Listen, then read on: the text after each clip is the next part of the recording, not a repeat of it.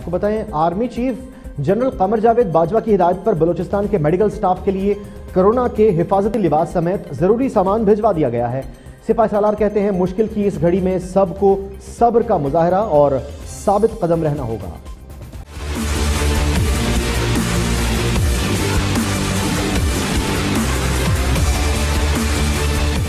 پاک فوج کے شعبہ تعلقات عامہ کے مطابق کرونا کے خلاف جنگ میں ڈاکٹرز اور پیرامیڈیکل سٹاف فرنٹ لائن سپاہی ہیں وائرس سے حفاظت کے پیش نظر بلوچستان کے میڈیکل سٹاف کے لیے ضروری سامان روانہ کر دیا گیا ہے جس کی army chief general Qamar Javed Bajwa نے خصوصی ہدایت کی ڈائریکٹر جنرل بابر افتخار کے مطابق آرمی چیف کا کہنا تھا کہ مشکل کی اس گھڑی میں سب کو صبر کا مظاہرہ اور ثابت قدم رہنا ہوگا ترقی یافتہ ممالک کو بھی اس وبا سے نمٹنے میں مشکلات درپیش ہیں حکومت پاکستان تمام وسائل بروئے کار لا رہی ہے